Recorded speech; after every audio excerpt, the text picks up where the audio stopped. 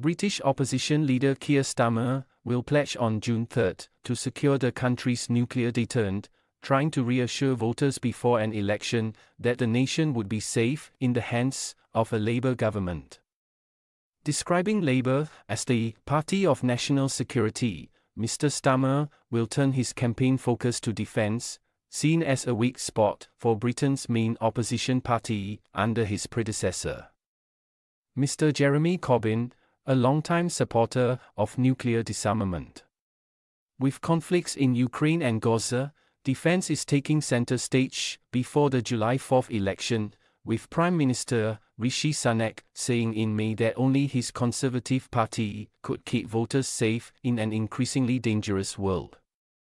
National security will always come first in the changed Labour Party I lead. Keeping our country safe is the bedrock of stability that the British people rightly expect from their government. Mr. Starmer said in a statement. My message to them is clear Labour has changed.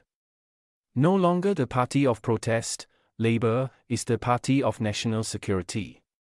He will make a commitment to a so called nuclear deterrent triple lock, constructing four new nuclear submarines.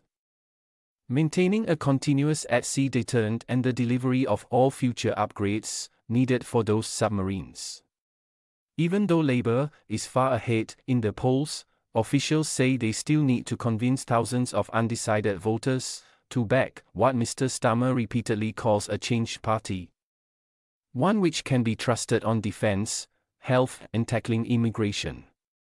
The Conservatives believe they have a stronger defense offering, with a pledge to increase defense spending to 2.